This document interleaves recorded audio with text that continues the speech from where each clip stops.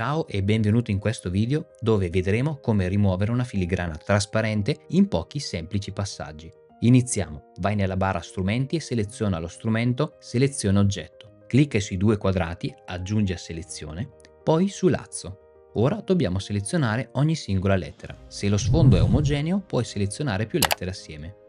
Se Photoshop ha selezionato per errore una zona non desiderata, premi su Alt, noterai un simbolo meno sotto la freccia, che ti permetterà di deselezionare la zona non necessaria. Ora dobbiamo espandere la selezione di qualche pixel. Vai nel menu Selezione, Modifica, Espandi e imposta 5 pixel.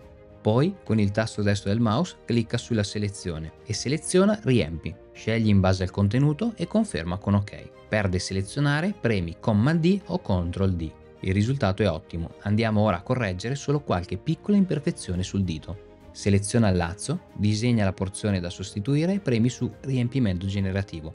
Poi su Genera.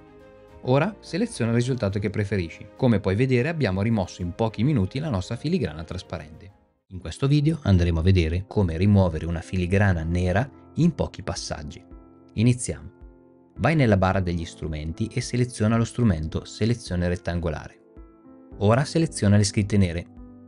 Non devi essere preciso perché tra poco selezioneremo solo il colore nero. Una volta selezionate le scritte, vai su Selezione, Intervallo colori e seleziona Ombre. Regola la tolleranza finché non vedi le scritte diventare completamente bianche. Io imposto un valore di 9 pixel e lascio invariato l'intervallo. Ora abbiamo le nostre scritte selezionate alla perfezione. Il prossimo passo sarà espandere la nostra selezione di qualche pixel.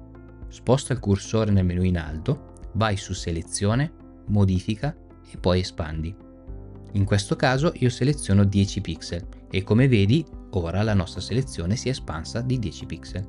Questo passaggio è fondamentale per rimuovere completamente le scritte. Ora clicca con il tasto destro del mouse sulla selezione e scegli Riempi.